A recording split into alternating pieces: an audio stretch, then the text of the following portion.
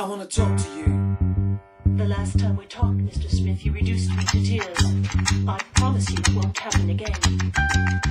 Do I attract you? Do I repulse you with my queasy smile? Am I too dirty? Am I too flirty? Do I like what you like? I could be wholesome, I could be loathsome, guess I'm a little bit shy. Why don't you like me? Why don't you like me without making me try? I try to be like Chris Kelly.